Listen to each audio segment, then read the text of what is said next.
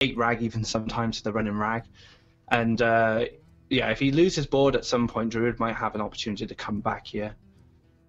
Uh, he goes for the fire elemental here. It's just a clean kill on this keeper. Uh, he won't be able to the deal with the forest, unfortunately, and he'll get another turn to reduce his hand. But the fortunate thing for for better for Renman, but it's also starting to you know go out of control a bit. I think he'll have to bank on uh, attacking into the Paladin Sweater and then the minion spawning with two health or, or, or less, so he can clear with a swipe. Uh, but yeah, I would have liked him to have attacked first in this case.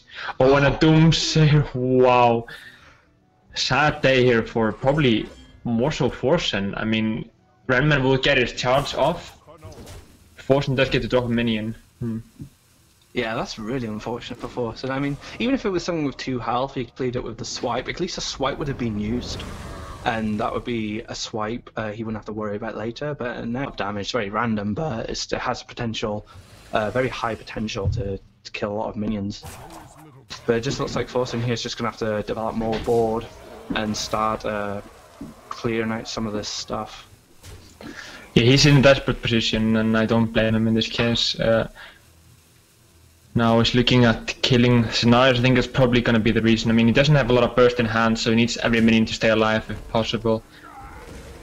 Is he dropping the flame tongue as well? I think that's probably not a good idea. So clears the scenarios and is ahead on board. Gets the flame tongue out as well. Okay, maybe he's looking at possibly. I think He do clear though. He should check what's from the, coming from the shredder first. But if he gets a full board clear, that's probably going to be the game.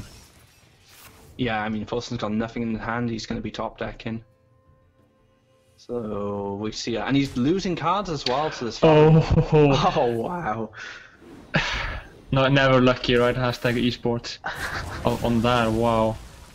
Literally the best mini that could have come out.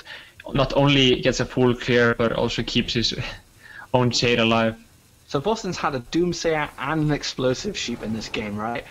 Oh, was the Doomsayer in the la- no? The Doomsayer was this game, right?